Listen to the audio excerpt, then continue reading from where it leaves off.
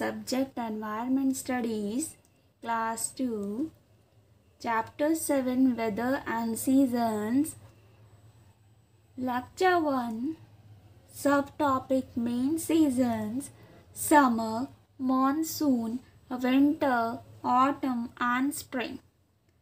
Good morning, everyone. Today we will learn about weathers and seasons. Okay आज हम weather और seasons के बारे में पढ़ेंगे, जिसमें हम मेन सीजन्स पढ़ेंगे समर मॉनसून विंटर ऑटम और स्प्रिंग सीज़न के बारे में। ओके आप सभी को कोई ना कोई वेदर पसंद होगा।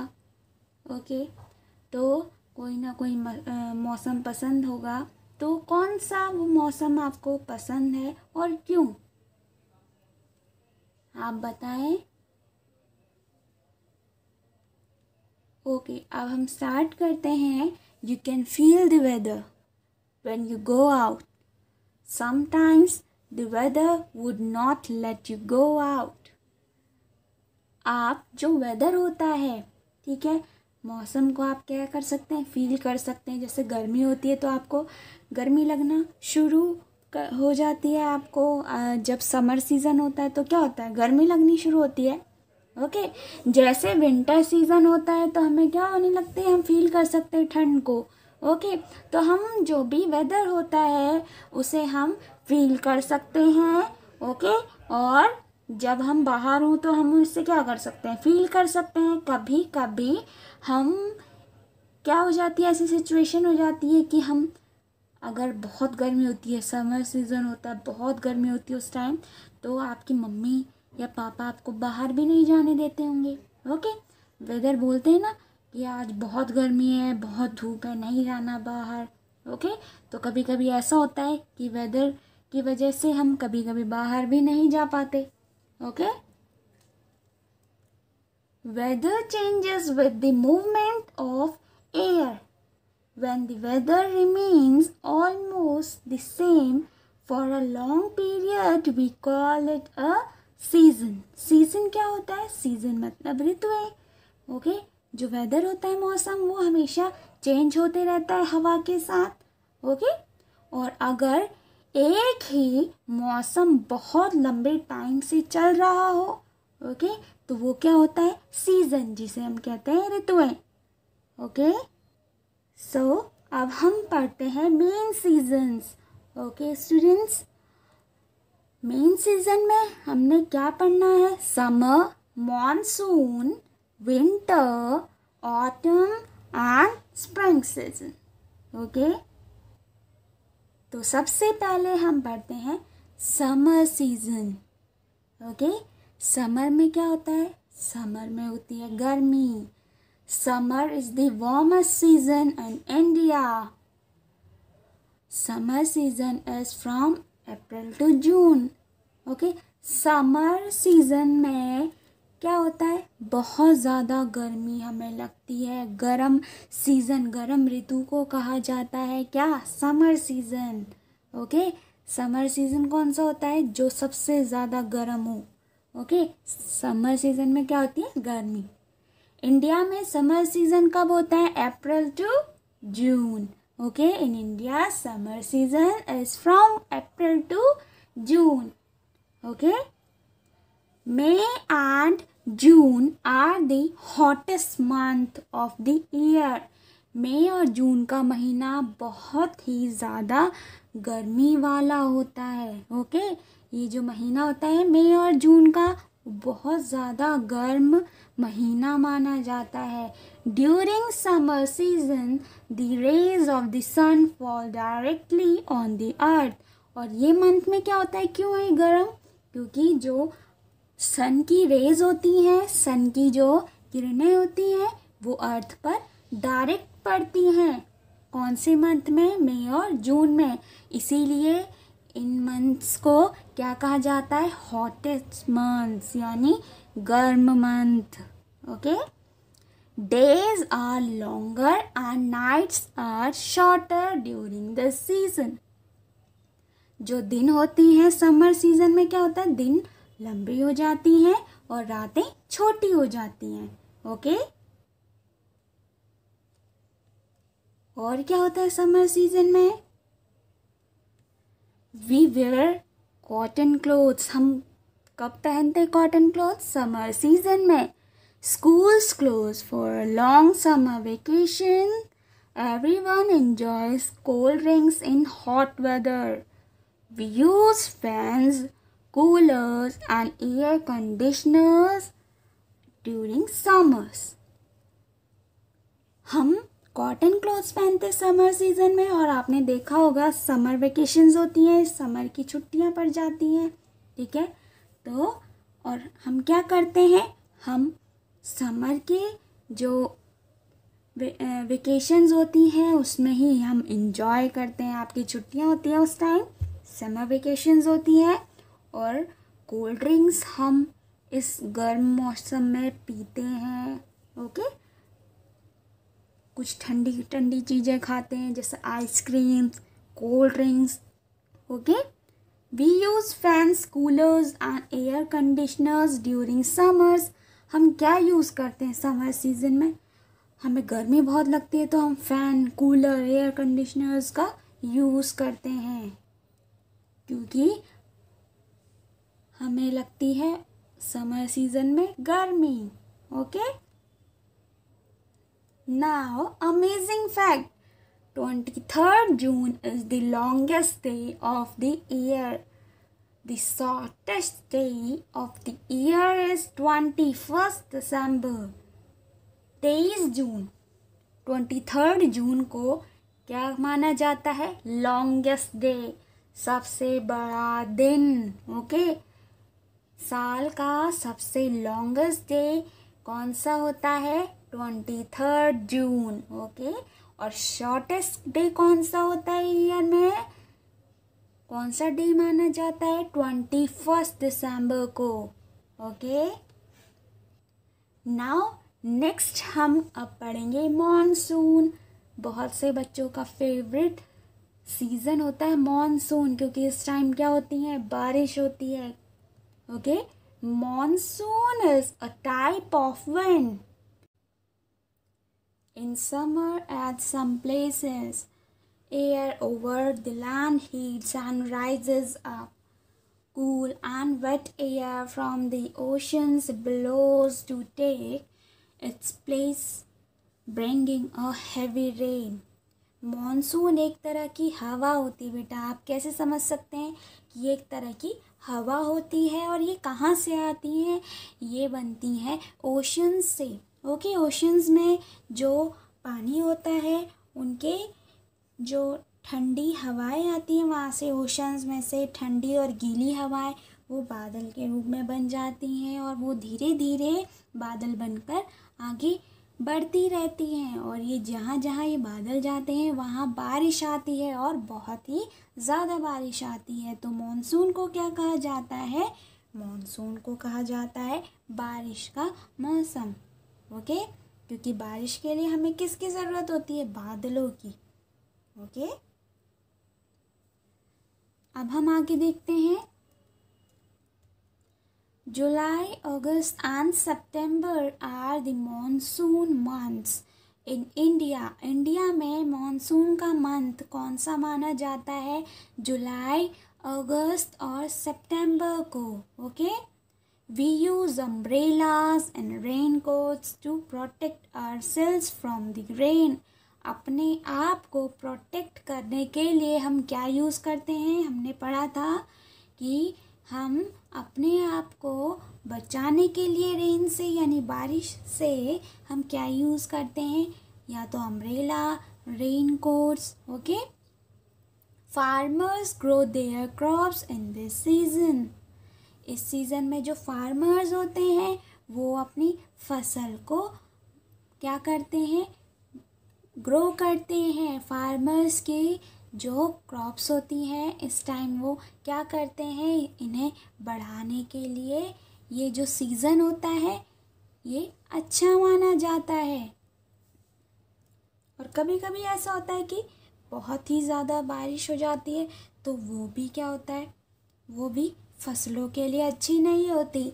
और क्या हो सकता है? When it rains heavily there are floods that cause much damage to life and property और कभी कभी बहुत ही ज़्यादा बारिश होने से बाढ़ आ जाती है फ्लड्स आ जाती हैं ओके जिनसे बहुत सारा नुकसान होता है okay sometimes you can see a rainbow in the sky after the rain. आप कभी कभी आप देख सकते हैं रेनबो। बारिश के बाद आप देखते क्या है? रेनबो, आसमान में कैसे होता है वो इंद्रधनुष? कैसे होता है? देखने में कितने रंगों से बना होता है? बताइए। Very good. तो आप क्या देखते हैं? बारिश के बाद आप क्या देख सकते हैं? रेनबो, यानी इंद्रधनुष। Do you know a rainbow has seven colours कितने कलर्स होते हैं रेनबो में? Seven colours these colours can be remembered by the word VIBGYOR अब आप इन्हें ना याद भी कर सकते हैं। आपको अगर याद नहीं रहते कि कौन से कलर के बाद कौन सा कलर आता है सीरीज़ आपको याद नहीं रहती कि कैसे होती हैं रेन रेनबो में। ठीक है इंद्रधनुष में कैसे सीरीज़ में कलर्स होते हैं तो आप इस वर्ड से विबग्योर जो लिखा है बेटा, वो याद आप उससे कर सकते हैं। वेब ग्योर जो V I B G Y O R लिखा है, आप उससे याद कर सकते हैं कलर्स की सीरीज़ कैसे याद कर सकते हैं? जैसे V for violet I for indigo B for blue G for green Y for yellow O for orange and R for red आप इसे ऐसे याद कर सकते हैं। Violet indigo blue green yellow orange red आप इनके सभी के फ़र्स्ट अल्फ़ाबेट को याद कर सकते हैं। V I B VIBGYOR G Y O R VIBGYOR okay और रेनबो देखने में कैसा होता है? लाइक like दिस कुछ इस तरह से इंद्रधनुष हमें दिखता है। नाउ नेक्स्ट सीज़न हम पढ़ेंगे विंटर सीज़न विंटर सीज़न कैसा होता है? ठंडा। Okay the season between the month of November to February is known as winter during winter we wear woolen clothes to protect ourselves from cold. The weather is cool. जो winter का जो वेदर होता है, ये कैसा होता है? ये होता है ठंडा। ओके ये मौसम कैसा होता है? ठंडा होता है। ओके और ये सीज़न कब तक का होता है? ये होता है नवंबर टू फेबररी तक का ओके और इसे कहते हैं सीज़न को winter okay the season between the month of November to February is known as winter नवंबर से फरवरी तक का महीने में जो सीज़न होता है, वो होता है विंटर सीज़न ओके और विंटर सीज़न में हम क्या पहनते हैं? वुलन क्लोथ्स क्योंकि ये ठंड का होता है, ठीक है? ठंड की ये सीज़न है, ठीक है? उस वजह से हम क्या पहनते हैं? वुलन क्लोथ्स पहनते हैं। ताकि हम अपने आप को कोल्ड से बचा सकें, okay? Dense fog during winter reduce visibility to keep ourselves warm we use hot air blowers room heaters etcetera in some parts of North India snowfall occurs winter season में आपने देखा होगा बहुत ज़्यादा कोहरा, धुंध होती है ओके और जिससे हम जो समर सीज़न में हम आराम से देख सकते हैं, लेकिन विंटर में क्या होता है, धुंध की वजह से हम देख नहीं पाते क्लियर ओके तो ये ऐसा मौसम होता है जिसमें हम फॉग की वजह से, धुंध की वजह से क्लियर नहीं देख पाते। और इस मौसम में हम अपने आप को गर्म रखने के लिए क्या करते हैं? हम तो वुलन क्लोथ्स पहनते हैं। वुलन क्लोथ्स क्या? ऊनी कपड़े होते हैं। और इसके अलावा हम क्या करते हैं? घरों में हम जो हॉट एयर ब्लोअर्स होते हैं या रूम हीटर्स होते हैं, इनका यूज़ करते हैं। ओके इंडिया में कुछ जगहों पर स्नोफॉल भी होता है। Okay now autumn and spring there are two more seasons autumn and spring और कौन से सीज़न होते हैं? ऑटम और spring autumn comes just before the onset of winter in the months October and November autumn यानी पतझड़ का जो सीज़न होता है, वो कब आता है? ये होता है अक्टूबर और नवंबर के मंथ में, ओके? और ये कब होता है? जो सर्दियाँ होती हैं सर्दियों की शुरुआत से ठीक पहले ऑटम सीज़न आता है, ओके? ऑटम सीज़न कब आता है? सर्दियों की शुरुआत से ठीक पहले, ओके? और मंथ्स कौन से होते हैं? October and November February and March are the months of spring फरवरी और मार्च कौन सा महीना होता है? ये होता है स्प्रिंग सीज़न का, यानी वसंत ऋतु का। Spring is the season of flowers और जो स्प्रिंग सीज़न यानी वसंत ऋतु होती है, वो फ्लावर्स का यानी फूलों का सीज़न होता है क्योंकि आपने देखा होगा स्प्रिंग सीज़न में ही नए नए फूल और नए नए पेड़ों पर पत्तियाँ आती हैं ओके हर जगह हरा भरा हो जाता है। सो so, अब हम करेंगे न्यू वर्ड्स आपको ये पिक्चर में दिख रहा है ऑटम और स्प्रिंग सीज़न की है ये पिक्चर्स सो so, अब हम करेंगे न्यू वर्ड्स उससे पहले हम क्या करते हैं? हम फॉर्मेट बनाते हैं. मेक अ फॉर्मेट फॉर्मेट आपका कैसे बनता है? Date chapter number day okay chapter का name weather and seasons class work then new words number one seasons S E A S O N S seasons यानी ऋतुएँ. Number two vacation यानी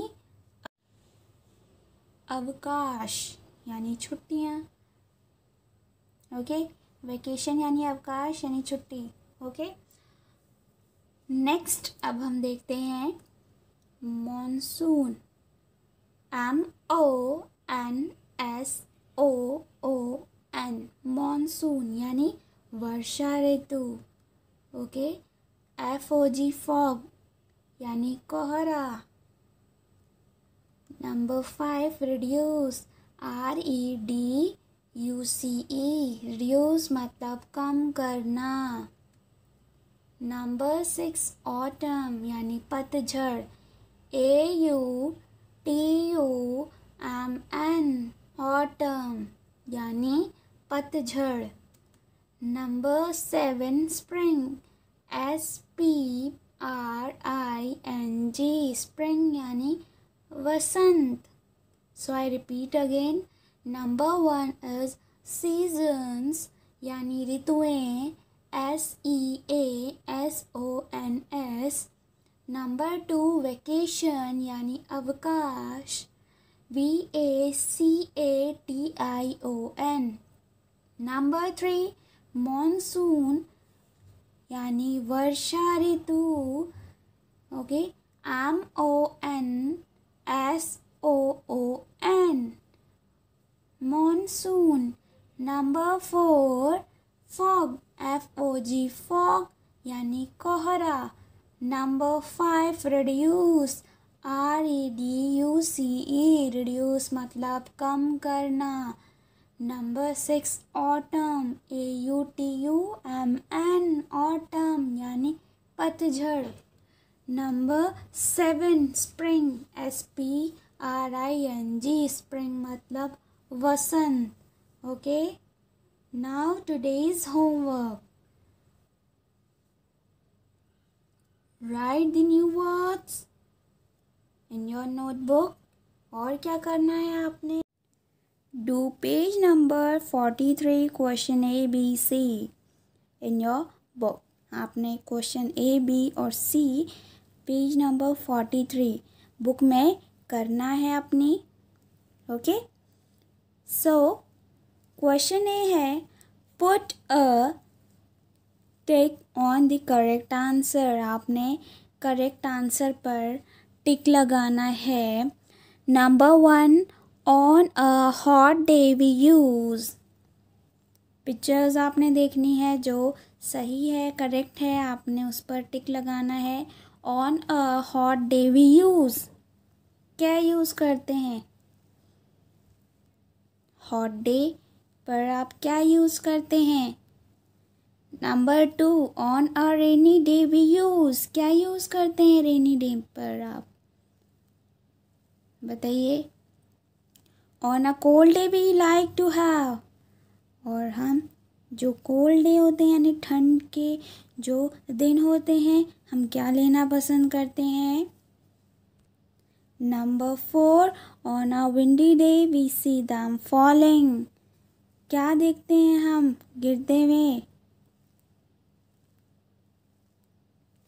okay okay, आपने क्या करना है? Pictures देखनी है और करेक्ट जो आंसर है उन पर टिक लगाना है। Now question number